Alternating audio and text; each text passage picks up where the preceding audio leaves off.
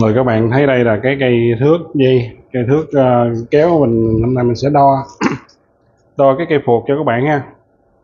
Thì cái cây phuộc uh, hai cái cây phuộc trên màn hình đây cây ờ, màu trắng này là của thằng uh, vu trờ mới nè các bạn.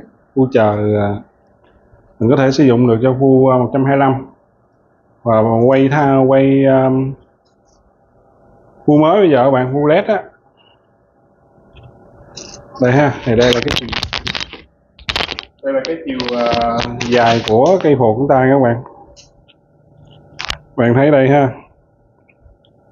Thì bây giờ là khoảng 15 35 à, nha các bạn.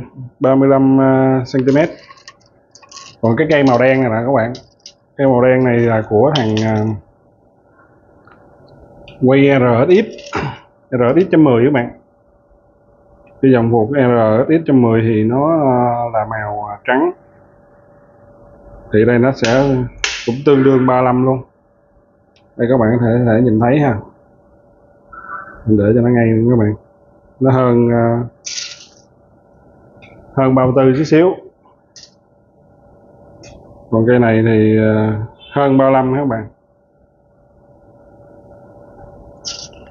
Thì hôm nay mình à, mục đích mình đo cho các bạn thì hôm bữa thì có một cái bạn á, bạn yêu cầu mình đo thử giữa cái phuộc 110 với lại cái phuộc uh, à, cu trờ để các bạn uh, gắn các bạn.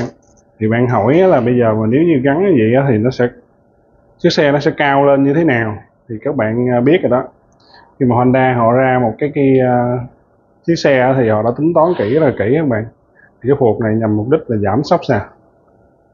Mình chạy xe có im không mà do cái phuộc này các bạn?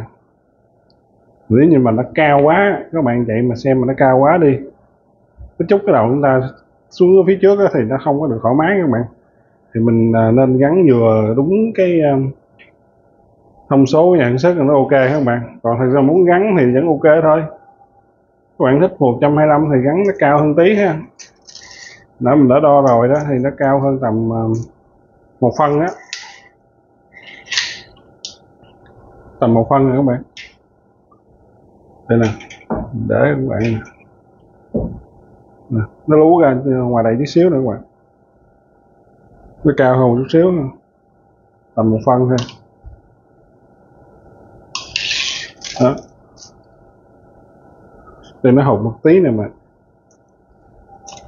Thì các bạn nào mà mua về mà các bạn gắn mà các bạn chịu cái uh, việc mà nó cao hơn một tí ngồi nó một thời gian thì nó cũng quen thì các bạn có thể mua ha. Thì, cái cây bên này á, của khu trờ thì mình thì hiện bây giờ mình đang bán là, mình đối giá cho các bạn ha. Một triệu hai. Cặp của khu chợ, nhưng mà khu chợ thì nó sẽ có hai loại, một cái loại này là loại si nè các bạn. Si thì nó sẽ sáng hơn. Nè, các bạn nhìn nè. Si sáng thì nó một cái thằng Full Full X các bạn. Nó cũng có một cái loại si giống vậy nè. Đây. Còn mà thằng à, cái kiểu của quen pha thì chỗ này nó hơi mờ hơn các bạn. Sơn á, nó không có được sáng gì đâu. Hàng là hàng à, của Honda các bạn. Chính hãng Honda ha. Thì à, khi mà các bạn mua thì nó sẽ là một trong một cái hộp hộp như thế này nè đó. Rồi à, mình cũng kể luôn một cái câu chuyện là có bạn đó bạn mua đồ của mình á. Tụi nói là cái hộp thì ok rồi.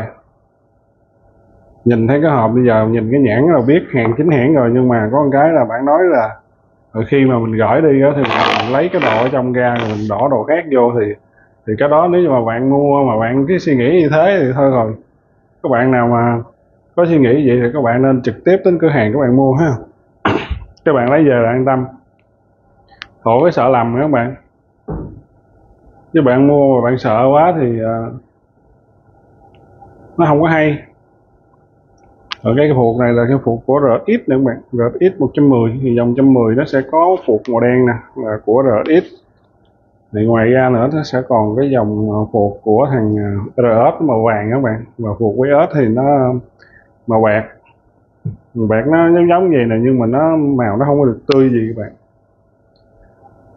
Thì cặp phục 110 á thì ờ, màu đen như thế là 892 ngàn một cặp nha các bạn. Một cặp là 892 ngàn nè. Đó.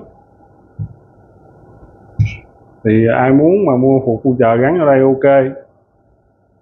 Mình thấy phục khu 1 này nó cũng khoảng tương tương cái chiều cao thế này đâu các bạn cũng giống như cái của phụ trợ này đó, là mình nhưng mà họ gắn rất là nhiều cho những dòng xe khác. Như quen pha nè dăm trăm mừ rồi thấy gắn rất là nhiều các bạn. Ngồi thời gian thì mình thấy nó cao hơn, rồi mình thấy nó quen thôi, chứ mà lúc đầu thì thấy nó lạ, nhưng mà mình ngồi thời gian là thấy nó bình thường các bạn. Lúc trước xe mình cũng gắn cái phụ khu chờ nữa. Nè, đây là cái chiều dài ha. Khi nào mình um, lấy thêm vài cái phục nữa mình đo cho các bạn ha. Mình cũng uh, có một vài cái chia sẻ cho các bạn ha. Thì có nhiều bạn kêu mình làm cái ti. Ti sau thì không có mà ti trước là có các bạn. Ti trước thì thường thường là đặt hàng là sẽ có còn ti sau là thua. Rồi các bạn nào mà có nhu cầu mua hai cái phục này thì có thể liên hệ với mình nha.